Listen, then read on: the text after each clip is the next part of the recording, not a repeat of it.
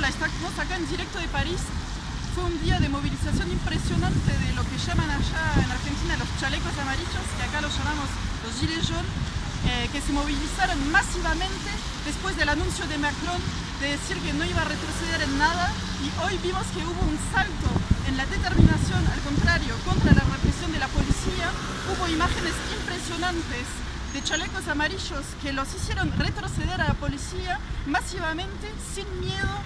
Chalecos amarillos que son jubilados, que son jóvenes. Hoy vimos más jóvenes en la calle. Hubo eh, ferroviarios que se habían reunido desde la mañana para organizar una convergencia con los chalecos amarillos,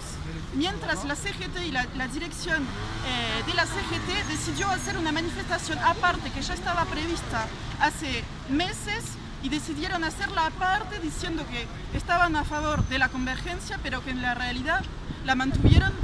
separada. Por otro lado, la represión fue impresionante, gases lacrimógenos como la semana pasada, que ya hubo varios heridos, pero vemos que frente a eso la, bronca sigue bien viva y la gente está determinada a seguir y hay un apoyo creciente en la población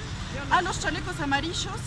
y incluso la gente se lo toma muy mal que Macron no esté entrando en este momento, que esté en Argentina por lo del G20, la gente se lo toma re mal y no piensa parar, así que estamos en un momento que no sabemos qué va a pasar. También hubo una convergencia con sectores antirracistas eh, del sector del comité eh, de la lucha por Adama, eh, que fue un joven muerto por la policía hace dos años ya y bueno, ese sector de lucha contra la violencia policial, contra la violencia racista, se juntó hoy